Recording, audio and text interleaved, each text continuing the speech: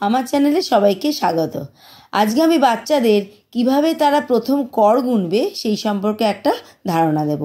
আমরা সবাই জানি যে বাচ্চারা যখন প্রথম কর গোনে, আমরা আঙ্গুলের সাহায্যে এক, দুই, তিন, চার এইভাবে প্রথম শেখাই।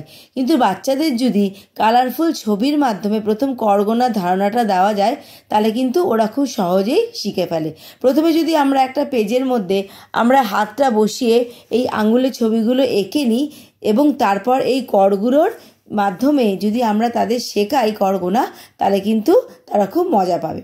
আচ্ছা এই যখন করগোনা স্টেজ ওদের আসে, অর্থাৎ যোগ বিয়োগ শেখার আগে আমরা করগোনা শেখাই বাচ্চাদের, তো ততদিনে কিন্তু ওদের মোটামুটি কাউন্টিংটা ওরা শিখে ফেলে। তো আমরা যদি ওদের বলি যে প্রত্যেকটা আঙ্গুলে চারটে করে কর আছে হ্যাঁ? এক, দুই, তিন, চার, এক, দুই, তিন, চার, এক, দুই, তিন, চার, এক, দুই, তিন, চার এক, দুই, তিন, চার। এইভাবে প্রত্যেকটা আঙ্গুলে চারটে করে কর আছে, ওরা যদি বুঝে যায়, তারপরে আমরা যদি এটা বলি যে প্রত্যেকটা হাতে দুটো হাত, ডান হাতে কুড়িটা কর আর বা হাতে কুড়িটা কর। তাহলে আমি যদি এখানে এক থেকে কুড়ি অবধি এইভাবে শেখাই ছবির মাধ্যমে, এক, দুই, তিন, চার, পাঁচ, ছয়, সাত, আট, নয়, দশ, এগারো, বারো, তেরো, চোদ্দ, পনেরো, ষোলো, সতেরো, আঠেরো, উনিশ, কুড়ি। কুড়িটা কর আছে।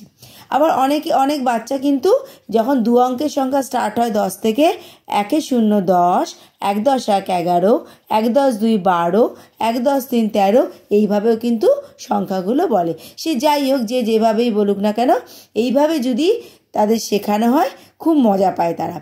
এবার যখন বারবার করার ফলে, এবার যদি আমরা বলি যে ছ নম্বর কর কোনটা, ওরা কিন্তু দেখিয়ে দেবে এটা ছ নম্বর কর। তিন নম্বর কর কোনটা? এইটা। দশ নম্বর কর কোনটা? এইটা। পাঁচ নম্বর, বারো নম্বর, আট নম্বর, এইভাবে তাদের কর, করগোনার ধারণাটা হয়ে যায়।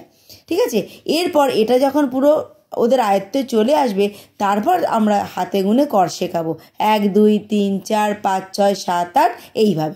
এইভাবে শেখানোর ফলে ওরা, ওদের যখন বলা হবে যে আট নম্বর কর কোনটা, ওরা কিন্তু সঙ্গে সঙ্গে দেখিয়ে দেবে।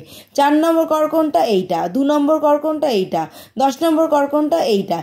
এইভাবে শেখার ফলে যখন করে করগুনে শিখবে, এই সম, তখন কিন্তু এই করের ধারণাটা খুব স্পষ্ট হয়ে যাবে।